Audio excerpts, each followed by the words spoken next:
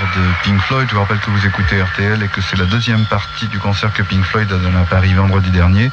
Le deuxième morceau que nous allons entendre, c'est Careful with that axe, Eugene. on ne sait pas très bien si axe est pris en tant que H ou en tant que axe.